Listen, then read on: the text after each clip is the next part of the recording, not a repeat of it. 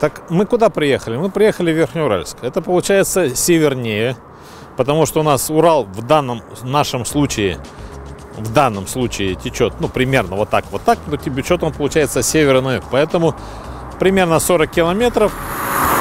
И вот э, в этом месте, даже чуть-чуть раньше, ближе к Магнитогорску, там есть очень хорошее место, где люди и живут. Как все интересно, да, все немножко колбается, ну потому что это машина рядышком стоит, ее немножко колбасит. Но ничего, это бывает. То есть мы сюда приехали почему? Верхнеуральск нам более интересен, потому что в Верхнеуральске появилось то самое пиво. Причем оно появилось еще с 1880 года. Где оно появилось? Сейчас мы вам покажем. Но самое забавное, что мне очень нравится Верхнеуральск, потому что меня здесь смотрят. Огромное вам спасибо. Вот для чего я делаю свой материал на YouTube. Вот отсюда начинается река Урал. Ну, в смысле, она не отсюда начинается. Река Урал начинается примерно в 100 километрах туда. Вот туда, туда, туда, туда, туда. Я примерно знаю, где это находится. Чуть-чуть дальше, чем Учелы. Вот там начинается река Урал. Вообще-то она никогда не была рекой Урал. Она всегда была река Яик. Это уже потом Екатерина переименовала эту речку Урал. Была такая хорошая река Урал. И, в принципе, наверное, в Верхнеуральск э, в детстве своем, ну как детство свое, наверное, это было некоторое количество детства, естественно, в своем возрасте, э, в 80-х годах позапрошлого века, э, здесь организовалось большое количество э, пивоварен. Но возникает вопрос, откуда они брали эту воду? Самая качественная пивоварня располагается не в Верхнеуральске, и мы вам покажем, куда необходимо доехать. Конечно, очень интересное место. Что это? Это гора Извоз. Давайте все-таки определимся, что за моей спиной. Этого, конечно, никогда здесь не было. Это было сделано для любимой нашей партии. Наша любимая партия поберегла Верхнеуральск. Она его, естественно, не разрушила. Мало того, она оставила тот, то удовольствие, которое было здесь. Что это было за удовольствие? Вот где-то здесь, но чуть-чуть дальше, с той стороны, человек, э, вскопав, найдя э, то место с чистой водой, сделал изумительное пиво. Да-да-да-да-да-да-да. Это было в 1883-4 году. То есть тогда э, Российская империя привлекала, естественно, немецких специалистов. Потому что Германия всегда славилась отличным пивом. Да-да-да-да-да. И э, раз меня так вот любят э, в интернете, раз меня так смотрят в интернете, естественно, я, естественно, залез в интернет. Вот. Что я в этом интернете обнаружил? я задал единственно правильный вопрос. Состав качественной воды. И вы знаете, а ее очень-очень сложно найти в природе своей. То есть можно, конечно, брать речку из воду из реки, река, вот она, прям передо мной, метров, наверное, 700. Вот там она идет, Урал, можно. Но это не есть правило. Правило такое, необходима качественная вода. То есть вы можете подумать и вы можете сами дома сделать свое пиво, но будет ли оно таким, как оно делается здесь, в Верхнеуральске? Нет. Что же касается это, какая должна быть вода? Сейчас, сейчас, не торопитесь. Объясню.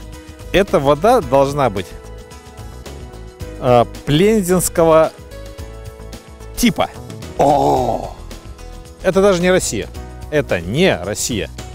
И для того, чтобы все это дело найти, один из немцев поехал э, по реке Волга, которая впадает в Каспийское море, а другой, ну там не сильно далеко, если честно, поехал по реке Урал.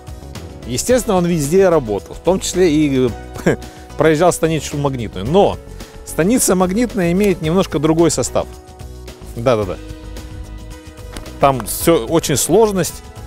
То есть, естественно, и хлориды, и сульфаты, и магний, кальций, и щелочность, сухой остаток, нитриты, нитраты, алюминий, медь. Это вот все здесь есть. силикаты, железо, марганец, окисляемость, щелочность, мутность, цветность. Это все вот здесь есть, я это уже сделал, да. Естественно, это дело не получилось в городе, в станице магнитной. Но это замечательным образом произошло в том месте, э, где он прокопал э, это, эту точку, он нашел. Мы сейчас проедем, оно будет чуть-чуть дальше, с той стороны. Я вам покажу ту самую точку. На той самой точке останавливается то самое пиво, которое вы можете употреблять. Я не противником был Верхнеуральска. Тут раньше было 3 или 4 конторы, да? Но единственный правильный вариант, который брал качеством, это было Верхнеуральское пиво. К слову о том, что там много-много было сортов. Они работали красиво и ровно. И это, в принципе, осталось. Но оно не осталось.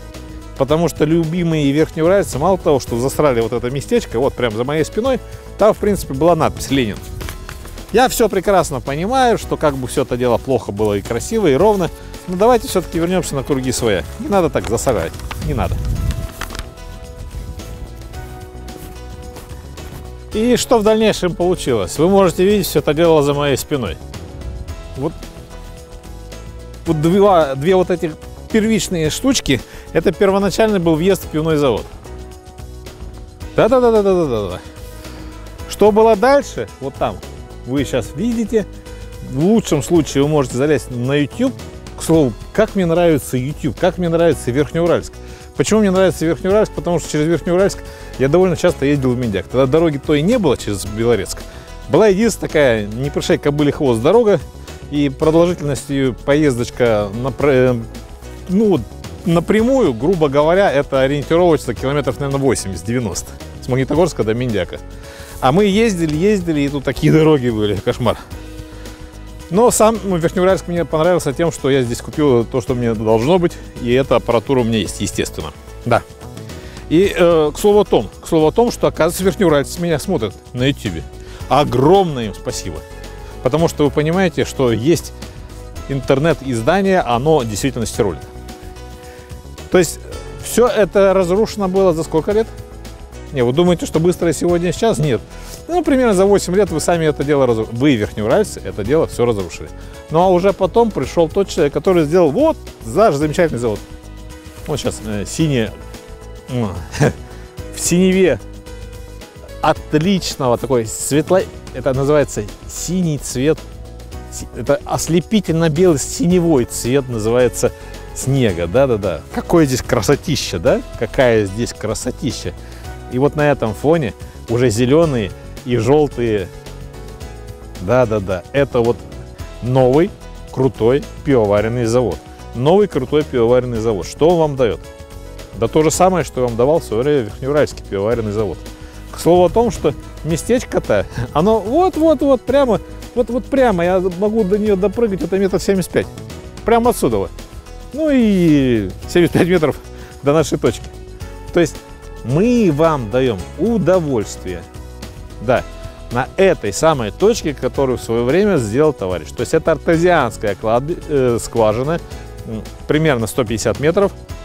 Он ее качает. Здесь в свое время, естественно, ничего не было. Это уже дело было потом построено, потому что этот поселок называется Пивзавод.